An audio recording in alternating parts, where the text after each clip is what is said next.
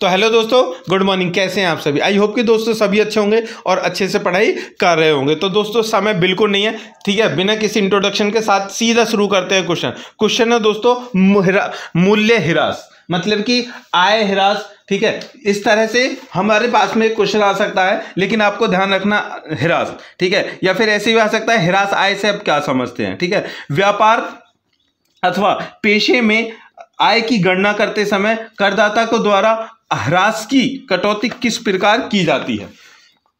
ह्रास का नियम, ठीक है? चलिए तो स्टार्ट करते हैं ह्रास को। देखिए दोस्तों टूट फूट जैसे कारकों के कारण सभी मूर्त संपत्तियों का मौद्रिक मूल्य समय के साथ साथ धीरे धीरे कम होता जाता है।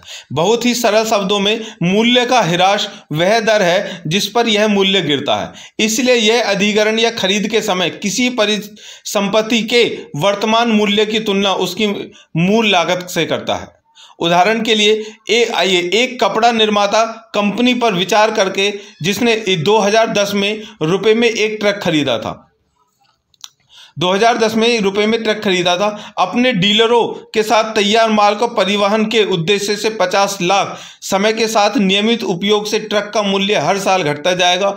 हर साल अपने ट्रक का वास्तविक घटा हुआ मूल्य निर्धारित करने के लिए कंपनी उसके मूल्य का 10 परसेंट काट लेगी। यही मूल्य ह्रास का अर्थ है। ठीक है दोस्तों? सपोज़ करो कि आपने आज एक बाइक निकाली है, ठीक है? बाइक निकालने के बाद में अगर उसको निकालने के साथ ही तुरंत अगर उसको बेचोगे आप, ठीक है? तो कोई भी उतने ही दामों पर नहीं लेगा जितने दामों पर आपने उसको शोरूम से खरीदा है। उसके बाद अगर तुमने एक महीने या दो महीने चला ली तो और उसके रेट कम होते जाएँगे। इसी तरह धीरे धीरे धीरे धीरे उसके जो मूल्य है, वो कम होता चला जाएगा। इसी को बोलते हैं मूल्य का ह्रास, मूल्य की कटौती, ठीक है? चलिए, देखिए मूल्य ह्रास उन सभी मूर्त और आमतौर पर अचल संपत्तियों पर लागू होता है, जिनका मूल्य समय के साथ घटता जाता है।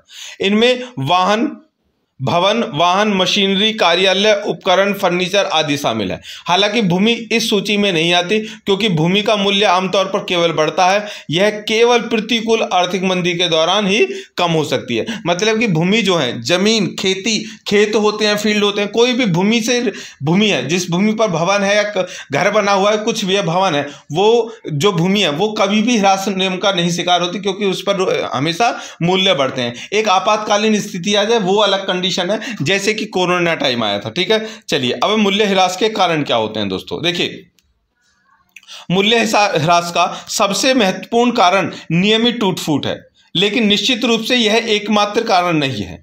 निम्नलिखित कारण किसी संपत्ति के मूल्य को कम कर सकते हैं। जैसे घिसा जा रहा है उपयोग उपभोग या उपयोग से उत्पन्न मूल्य की हानि, समय का प्रवाह, प्रौद्योगिकी के माध्यम से अप्रचलन और बाज़ार बदलता है। कहने का मतलब है, दोस्तों, आज आपने एक मोबाइल खरीदा। धीरे धीरे वो मोबाइल के रेट कम होते जाएँगे, ठीक है? और उसके बाद में धीरे, जितना ज़्यादा उपयोग करोगे, कभी उसका चार्जर खराब बदलना पड़ेगा आपको, उसका कवर बदलना पड़ेगा, कभी कुछ, कभी कभी कुछ कभी कुछ, इस तरह से उसमें पैसे आप लगाते जाओगे, ठीक है? और फिर भी उसका मूल्य जितने भी तुम खरीद करके लेकर आए थे, उतना नहीं रह जाएगा, ठीक है? इसी को बोलते हैं, घिसा जा रहा है, कोई चीज़ है खरीदे, वो घिसती जा रही है, घिसती जा रही है तो उसकी रेट कम हो जाते हैं, ठीक है? चलिए, मूल्य ह्रास की गणना का उद्देश्य है। देखिए, लेखांकन और कराधान के क्षेत्र में मूल्य ह्रास का व्यापक प्रभाव पड़ता है। आइए से समझते हैं कि ऐसा क्यों है। कराधान में मूल्य ह्रास का क्या प्रभाव है? देखिए, लेखांकन में मूल्य ह्रास। लेखांकन में मूल्य ह्रास की प्रयोज्यता मिलान सिद्धांत पर आधारित है जिसके तहत परिसंपत्ति की लागत उसके उपयोगी जीवन के दौरान उत्पन्न मूल से खाती, मेल खाती है। उसकी वास्तविक लागत निर्धारित करने के लिए प्रत्येक रेखांकन वर्ष के दौरान परिसंपत्ति का मूल्य कम कर दिया जाता है और व्यव्य के रूप में उसको लिखा जाता है। कराधान में मूल्य ह्रास। देखिए, कराधान कानूनी कर देनदारियों की गणना करते समय ह्रास मूल्य ह्रास में कटौती करने की अनुमति देते हैं, क्योंकि किसी परिसंपत्ति का मूल्य ह्रास मूल्य लेखांकन के तहत विवेक के रूप में लिखा जाता है। नतीजतन, आयकर अधिनियम उन्नीस के तहत निर्धारित दरों पर संपत्ति का मूल्य ह्रास किया जा सकता है। तो मूल्य ह्रास की गणना के मुख्य उद्देश्य क्या है? देखिए, परिसंपत्तियों से उत्पन्न आय या हानि को मापना। दूसरा, परिसंपत्तियों को वास्तविक मूल्य निर्धारित करना।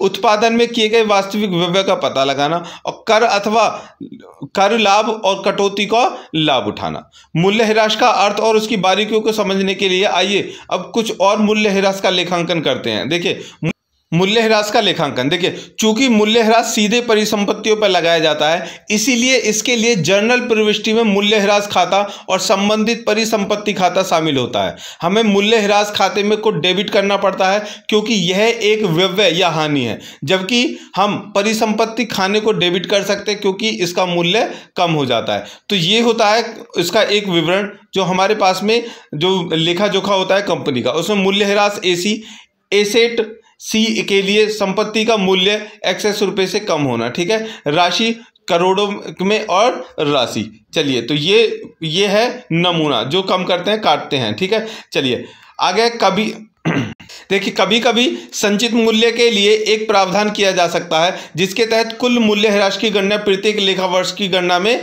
करने के बजाय एक विशिष्ट तिथि तिथि तक की जाती है। बैलेंस शीट इसे सकल संपत्ति, अचल संपत्तियों की कटौती के रूप में बताती है। ठीक है दोस्तों तो यहाँ पर हम करते हैं क्वेश्चन को समाप्त। जल्दी से सभी में शेयर कर दीजिए, ठीक है? चलिए, मिलते हैं नेक्स्ट क्वेश्चन के साथ दोस्तों। जय हिंद।